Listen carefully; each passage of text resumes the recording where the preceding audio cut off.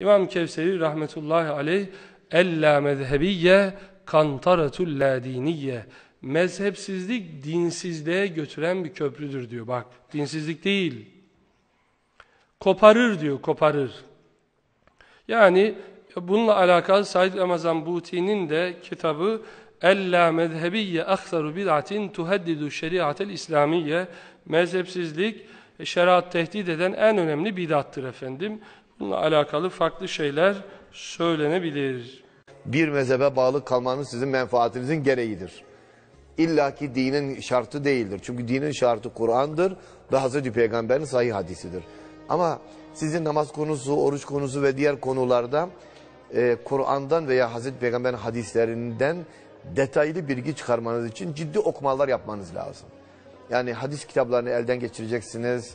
Usul kitaplarını, Kur'an'da nasıl hüküm çıkarılır. Ama bu da bir iştihat gerektirir. Yani müştehit e, olmanız gerekir. İyi bir alim olacaksın, ondan sonra mezhep tanıma.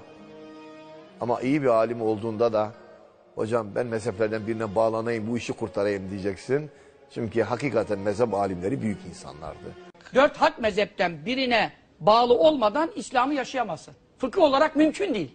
Bu sefer helal haramın hepsini Kur'an'dan, hadisten kendin çıkartma durumunda olman lazım, müştehit olman lazım. Müştehit olacak bir vasfın, ilmin olmadığına göre daha bakmadan gücüne ayeti okuyamıyorsun. E böyle bir durumda müştehit olamadığına göre müştehide uymak zorundasın. E bu sefer müştehide uydun mu onun kimlik alıyorsun. Ben Hanefiyim, öbürü Şafii, Hanbeliyim. Bak dörtte haktır. Allahü Teala Kur'an-ı Azimüşşan'da diyor Estağfirullah innellezine farraku dinehum ve kanu şia'an leste minhum fi şey. Dinlerini böyle fırkalara ayırıp hep birilerinin etrafında toplaşanlar işte falancı filancı filancı filancı. Onlar var ya hiçbir konuda onlardan değilsin diyor.